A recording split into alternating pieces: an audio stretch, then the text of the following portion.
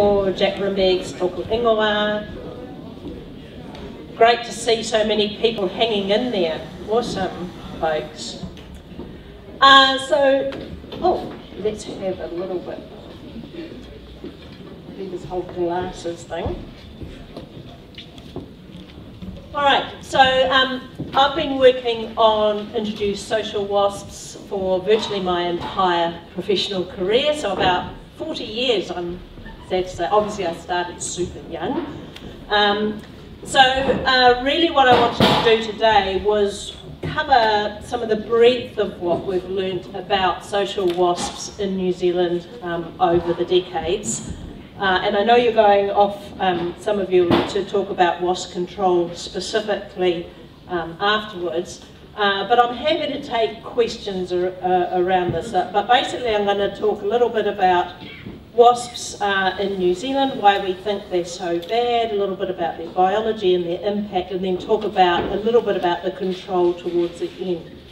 So we have about half an hour to crack through all of that. So it's a little bit of once over lightly, but as I say, if there's anything specific you want to know, um, I'm planning on leaving time for questions afterwards.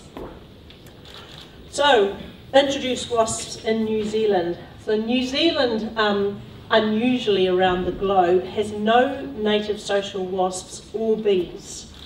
Uh, and only 11 species of ant, which is actually a ridiculous small diversity of social Hymenoptera that are naturally in New Zealand. Uh, and that actually has a lot of consequences for us in uh, managing uh, these species. Uh, and, uh, but I'm only going to focus on, um, obviously, the social wasps at, at the moment. All right, so in terms of introduced social wasps, what do we have in New Zealand? Uh, we have three species of Polistes or paper wasps, and you know those ones because as they're flying along, their legs are dangling down. So if you see something flying with dangling legs at about wasp size, it will be an introduced paper wasp.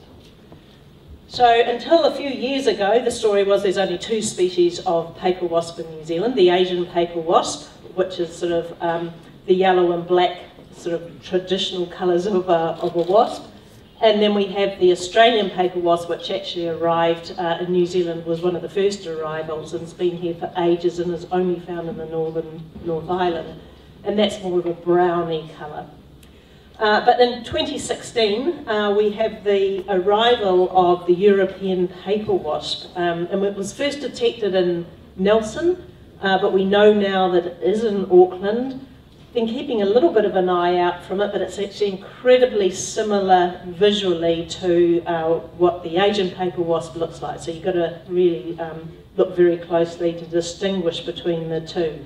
Uh, but potentially we will see more of that European uh, paper wasp uh, throughout New Zealand. And that species is one of the really problematic species over in North America, so it's introduced to North America as well, um, and they've been having quite a few problems with it. But what I'm mostly going to focus about in this talk uh, are our two species of Vespula wasps, so the German wasp, which arrived um, uh, at the end of the Second World War, and the common wasp, which arrived sometime in the late 1970s, we never were quite sure exactly when. So one of the things, uh, one of the more recent bits of uh, work that was done was looking at the um, uh, genetic diversity of these two introduced uh, Vespula wasps, the German and the common wasp, just to see if we could get a handle on how often did they arrive into New Zealand You know, how many uh, introduction events were there. And so this was analysis where um, colleagues led by Phil Lester um, got samples of wasps from around the world, um, Europe being their native range and the others uh, mostly their uh, introduced range. And you can see New Zealand there for, I can't point easily, can I? Nope, never mind. Um, so what was I going to say? Oh, yes, so, so, the German wasp, you can see New Zealand is the lower curve there. Argentina um, was even lower, but New Zealand, it looks like the German wasp only came in twice into New Zealand. Uh, and the fact that the curve is flattened off uh, suggests that more sampling wouldn't detect more incursions. It probably was around about two. Uh, on the other hand, the common wasp on the other side, uh, we know that there's likely to have been at least six uh, introduction events, uh, but the fact that the curve is still quite high suggests that if we did more sampling, we might find um, a bit more diversity. So these things are coming into the country, and it wasn't just one incursion. Um, they're, they're continuing to get in, and as indeed the arrival of um, the new species of paper wasp shows, you know, even new species are potentially coming in. So keep your eyes open out there, uh, because all of these detections were made by members of the public or introduced, uh, um, you know, people with their eyes open out there on the ground rather than any sort of systematic survey. So if you see something that look, looks really different, possibly it is. Um, similarly, some work uh, on uh, looking at genetic diversity to try and pinpoint, you know, where in Europe were these uh, things coming from. So this was work led by uh, one of my PhD students, Julia Schmack, uh, and she found that um, it was highly likely that the Vespula germanica had originated somewhere in the UK, which kind of makes sense. Uh, and uh, but for the common wasp, uh, she didn't really know. So she'd done quite a bit of. Um, it, it, was harder to get samples from across Europe, and nothing matched uh, particularly well.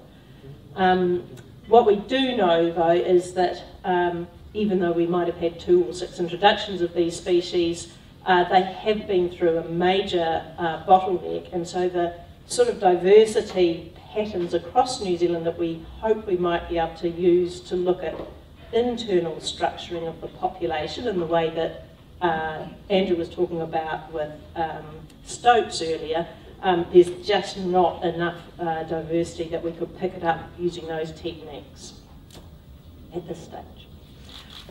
Um, the pathogens um, is an interesting story because you know these things in Europe it's likely that there's all sorts of things that um, attack wasps and help keep them in control uh, but again, until we had some of these fancier molecular tools, we weren't really able to get much of a handle on that.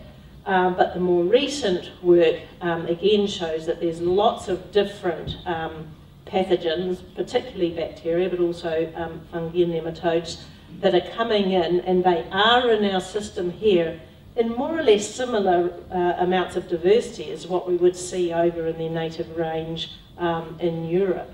Uh, and one of the reasons we think that is, is that they're sharing a lot of um, pathogens with honeybees, and of course we have honeybees all over the show, and so um, not only are honeybees likely acting as a reservoir of disease for Vespula, but vice versa, um, potentially Vespula acting as a reservoir of disease for honeybees. Not all that surprising given they're relatively closely related. Uh, so this is um, moving now on to um, the abundance and uh, distribution in a, um, looking across the top of the North Island. A lot of our earlier work was all done in those South Island uh, beech forests, but since I moved up here about 20 odd years ago, uh, we wanted to have a look um, more broadly at what was happening um, across um, the, this sort of landscape, where we don't have the beech forest with sugars dripping with honey water. Um, and so Julia, um, for her PhD, had the lucky job of um, going and visiting 36, 36 offshore islands, um, ranging from North Island, uh, sorry, Mayor Island, um, right the way up the east coast of the North Island. Um, and the first thing we had to do when we were doing that work was developing a whole new way of indexing WASP numbers because all of our previous methodology was um, designed around the density of wasps that we see in the South Island beech forest, which is an order of magnitude higher than what we see up here. And so trying to um, detect um, them needed a much more sensitive uh, way of doing this. So we came up with the five minute wasp count um, sort of modelled off the five minute uh, bird count. Anyway, that proved a really uh, useful tool, and so she was able to go out and index the abundance of all four, at that stage it was all four species of social wasp in New Zealand on these different islands, and then um, play around with some mathematical models looking up, you know, what were the main drivers of um, the distribution and abundance of those species. So the first thing um, wasn't particularly uh, surprising. Um, almost all of those islands had at least one species and usually more of social wasp. The only island that didn't have any social wasp that we could detect using our methods anyway uh, was Aorangi in the Poor Knights Islands. Um, but I think probably what was most surprising to me was the density of the paper wasps on those offshore islands. I expected high numbers of Vespula, but actually we were detecting equally high abundance of paper wasps across everywhere. It didn't matter how far out we were, uh, there were paper wasps.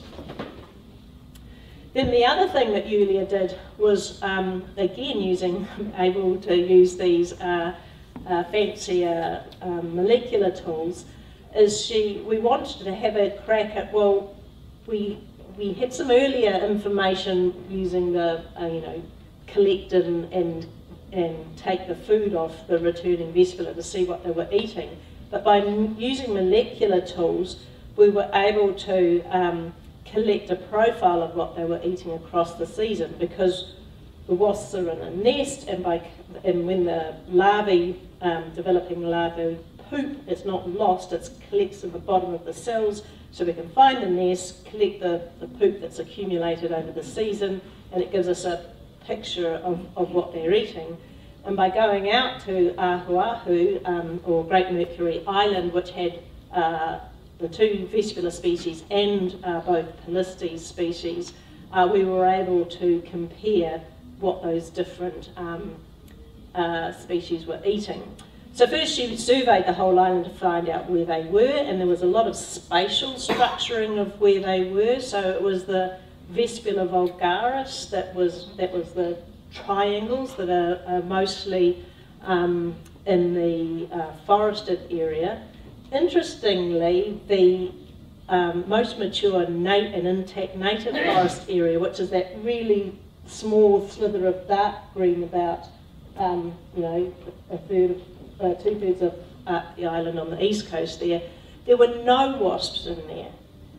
One of the messages, and, again that came out of the broader um, uh, distribution work that uh, Yulia was doing on all those other islands, is if you have intact native forests in those systems, the wasp numbers drop right away. So if you really, really want to control wasps on those offshore islands, get the native vegetation back easy. Well, not quite so easy, but it seemed like a nice way forward. Anyway, she was also looking then at the diet of, of what those things were doing. Um, and so I'm going to show you some relatively complex figures, but you don't have to take in all the detail, you just have to look at the pretty patterns. Um, so there's our four species of introduced wasp along the top, and along the bottom um, are the different types of invertebrates they were collecting. So Lepidoptera are the, um, mostly the moths and butterflies, the Diptera are the flies, the Hymenoptera are other um, wasps and bees, um, Hemiptera, true bugs, Araneae, the spiders, and then others. So you can see lots of interactions. So the um, although we tend to think of some of these things as being relatively specialist, and certainly the paper wasps tend to eat more Lepidoptera, the, the moths and butterflies, than anything else, there's actually a lot of diversity, but if you use um, the fancy uh, statistical methods to, to drill down into that, what was happening is that they were actually complementing each other on what they were eating. So the short message is the more species that you add in, the broader range of insect taxa they were being targeted. So it's not a substitutional thing, it's an additional thing. As you add in more introduced wasps, you're affecting more and more um, of our native um, invertebrates. And that's telling the same story at a finer scale. So if there's one diagram that uh, summarises many decades of work, it's this one. Uh, so we have our introduced wasps, and this is talking primarily about the Vespula wasps in the centre there. And we know, um, particularly in those uh, southern beech forests, that honeydew is a really important driver of, this whole, of the whole abundance of wasps. And we know that's produced by endemic scale insects feeding on the beech trees. But what we've found over the years is, you know, not surprising as an ecologist, this is all interlinked. So the honeydew's driving um, the microbial systems, which is influencing the nutrient cycling, and so the wasp taking away the honeydew is influencing the nutrient cycling of the forest. We certainly know there's major impacts on the invertebrates. We never quite pin down statistically the impact on birds because there's so much else going on in those forests. You know, there's rats, there's does, there's possums, etc. So it's really hard at a landscape level to pick apart you know, attribute the different um, invasive species impact in some of those systems. Uh, but it, I would say it's highly likely that they are because they're having such an impact um, directly on the invertebrates. So I think one of the reasons that wasps are so problematic in these systems are because they are impacting at multiple levels. It's not just that they're predators and taking out nestling birds or invertebrates, but they are also influencing the nutrient cycling in the system.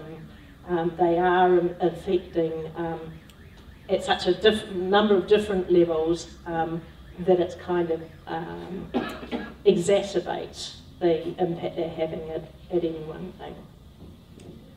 Right, I'm going to flip now to um, briefly just uh, cover off the control work we're doing so poison baiting uh, is, the, and this is the result of many, many years of work of trying different baits, different um, toxins, and particularly the holy grail was to try and find something that affected the wasp but didn't target the honeybees. Pretty difficult to do except via the bait. If you use a protein bait, uh, then the wasps will come, but the bees won't. So that is the main thing that uh, makes, it, uh, makes it safe to use around honeybees. Um, and it can be incredibly effective, providing the wasps are introduced in the protein bait. In a southern beech forest, no problem. The systems are loaded with sugar, and so protein is, you know, one of the key limiting factors.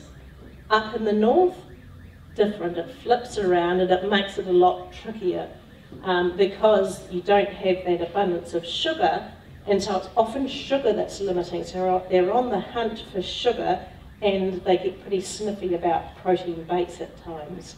Doesn't mean they won't take a protein bait, but just it can be harder to um, find the, window when that, that's what they're most interested in. Um, not much at the moment we can do to get around that. You can't flip to a um, sugar bait in um, these forests, which would be the ideal because of the risk to honeybees. So stuck with using a protein bait. Um, at the moment, um, fipronil is uh, what is primarily used. There's likely other toxins at work, but there's not been a, necessarily um, a strong need to develop other toxins at the moment because there's more pressing, pressing, pressing issues. Um, so that works really well for Vespula in, in most circumstances. Uh, paper wasps, uh, we have no current tools other than finding the nest and clipping it off or spraying or whatever directly because they don't scavenge, they'll only target live prey. So you can't put out cat food or whatever and think that paper wasps are going to come to that. So there's a long story that I'm not going to bore you with around getting um, a product to market, uh, but we do now have in uh, New Zealand uh, Vespex wasp bait, which is basically um, that protein bait mixed with the fipronil that's commercially available, and I'm sure that um, most of you um, either know of it or have even used it. How many in the audience have used Vespex at this point? Yeah. How many found it effective? Super effective. yeah. Um, you know, if you were in a South Island beech forest, I'm sure everybody that had used it would go, yes, yes, it's awesome. The difficulty up here is always going to be that issue around protein bait versus them wanting sugar. Um, so biological control um, is, uh, you know, again, there's been a lot of work done on this over the years. We've released, and sorry, these don't have common names. Um, Sphecophaga vesparum vesparum is itself a um, wasp, a small uh, parasitic wasp that's really effective um, in some cases, but as it turns out in the long run in New Zealand, it hasn't done all that well. It's established, which is a good start, um, but after 20 odd years of monitoring what it was doing, um, we had to conclude that it's not really delivering any significant control at the population level. Uh, and the other species uh, that was released um, didn't even establish, Sphecophaga vesparum burra, um, so that one was in the failed camp. Uh, so Landcare Research, um, under the leadership of Bob Brown, um, is doing quite a lot of more work um, around alternative biocontrol agents going back to the original Sphecophaga vesparum vesparum, but seeing if they can get better um, matching in terms of climatic zones and things. Sometimes that's been super effective, is just to go look at where you originally collected from and go, well, actually that wasn't the best match. The original Sphecophaga, um, that was um, released actually only came from a single nest in Switzerland. Uh, so it certainly seems worthwhile to me to go back and see if um, a little bit more diversity within that species might give a better outcome. Uh, and then he's tried um, a couple of species of dronefly and beetles, so watch that space. Okay, so what we do know after decades of work is that um, in many situations that uh, wasps are having a mass massive ecological impact uh, and that we know that um, what humans have done in terms of uh, shaping the environment and helping move these things around, dispersing them into new areas, adding in new species, keeps coming um, along to make the problem even worse, uh, then we know that, um, you know, there are some things that we could play with there, such as the cover of um, vegetation on um, some of these offshore islands. Poison baiting um, is currently the most effective uh, control tool, but it's certainly not a silver bullet. We need another, other ways of doing this. Um, but I would say if you're going to be planning these things, um, we're not looking at eradication, obviously in this case, we're looking at control, uh, then you do need to think of uh, a multiple range of things that are, that are interplaying. So for instance, we know that the queen wasps um, can fly between 30 and 70 kilometres in a year. So they have this dispersal phase. They've already mated and then they go off and um, overwinter. And so if you're looking at um, you know, the scale of what needs to be achieved, then that would suggest you need to be uh, thinking of more than just your little backyard. Okay, so I'm happy to take uh, questions at this point. Yep. Two, two questions, probably quite